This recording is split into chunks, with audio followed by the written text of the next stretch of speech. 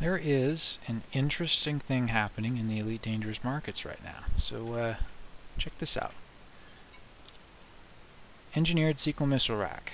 This is the Liz Ryder missile rack that was offered a while back. Um, most of the blueprints bog standard stuff. And most of the human tech broker uh, blueprints have historically uh, required at least one commodity in order to be purchasable. But those commodities have been readily available somewhere in the bubble. Occasionally they were rarer and you needed to go to a specific place to buy them, but they were doable, although very inconvenient because you usually had to fly a cargo-fitted ship with some substantial jump range to make everything work. So uh, a lot of people were willing to go through the effort. I was one of them. I've unlocked basically every blueprint that's available from the human broker except for uh, the Thargoid bobblehead, which I could probably knock out here sometime soon.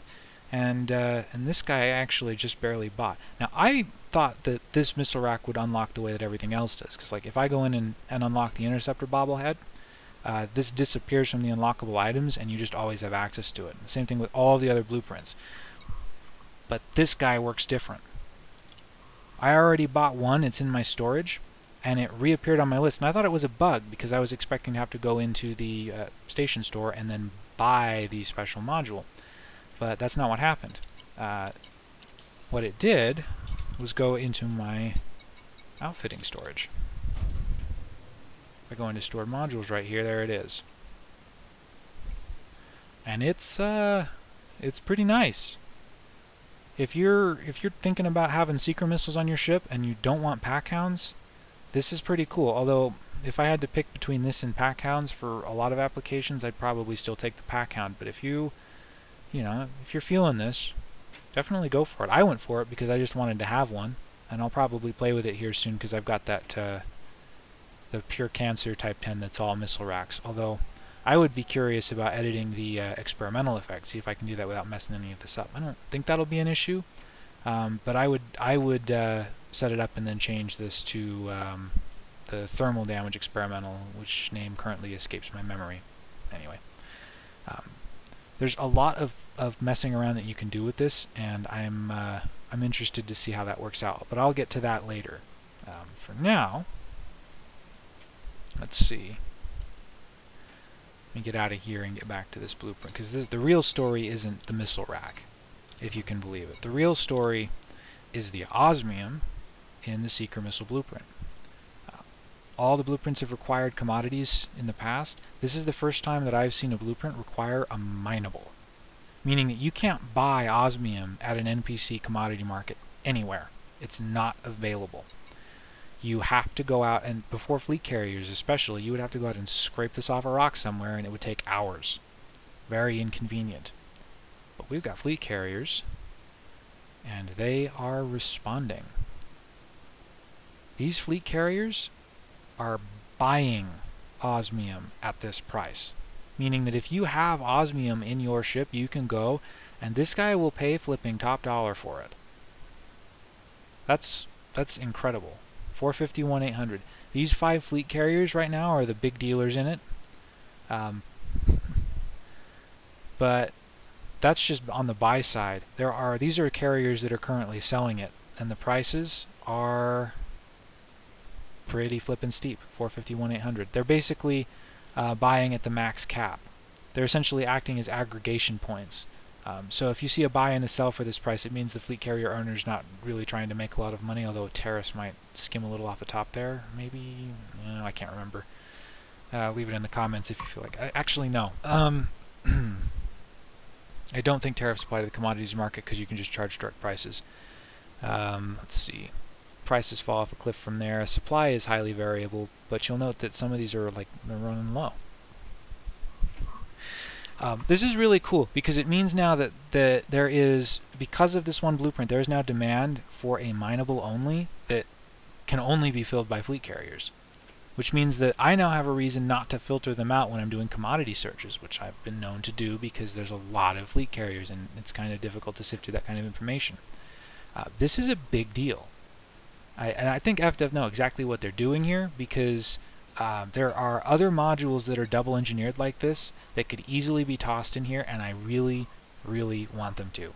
Uh, because it will cost them zero dev time and it will mean that people who weren't playing that week or who weren't aware that the uh, community goal that week was offering a module reward can now go in and with some effort on their side acquire some of these difficult to acquire modules.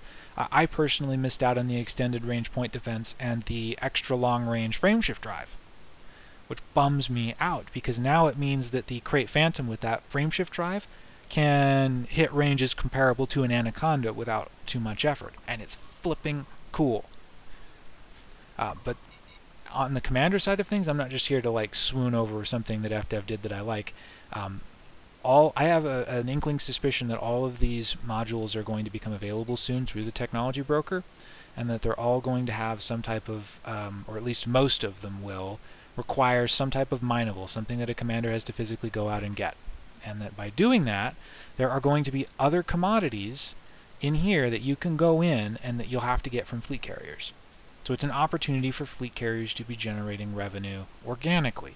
Now, it's a step in the right direction, but there's still a lot more room to go. Um, if you happen to have osmium or you like to mine, uh, th there's an opportunity to fill some supply here, although not all that much. I mean, if you added all these together, you might get to a thousand. I'm not going to break out a calculator and do that right now because it's boring and I want to keep this video on the shorter side. Uh, but a commander who is committed to the task could probably mine all of this out of a system with osmium, especially with a hotspot, in a couple of hours. But there's a lot of money to be made there. I mean, um, I bought seven tons at this price, and it was about three million. So if you extrapolate that out, I mean, uh, or I'll do even one better. This is the most you can get. Uh, let's see.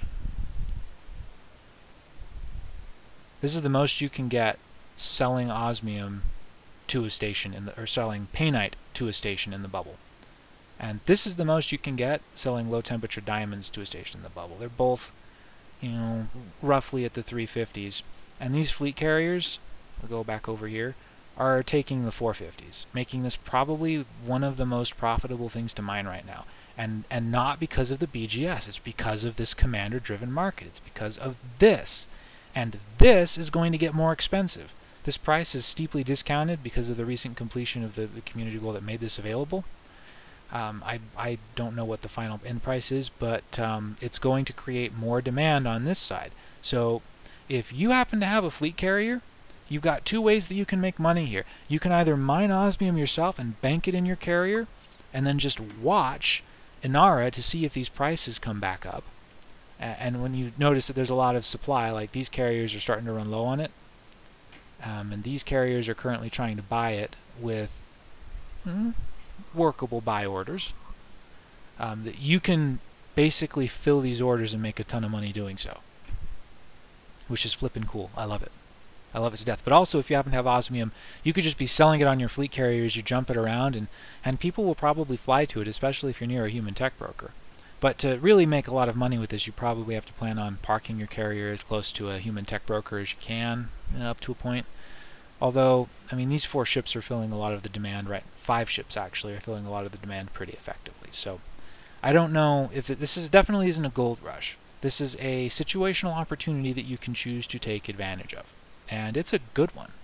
Um, definitely be watching this, especially as more blueprints pop up in here, because whatever the if they're if they do what I think they're going to do, and there's other minables that are going to be required here, you're going to see comparable sp uh, spikes in demand as other commanders uh, who are trying to avoid the time sink that mining requires start looking for fleet carriers so they can go and fill these orders. Again, I want to I want to re remind everybody that this is a one-off. When you click this module, you don't get a permanent right to buy.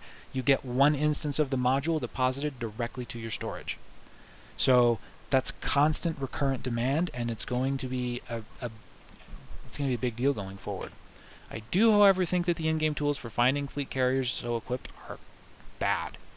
We can get into that later, um, but be familiar with Inara, be familiar with EDDB, understand how these tools work, and then be familiar with the types of materials that are mineable only, because I think we're going to see a lot more stuff on this list uh, start to become a thing where you have to go and get it.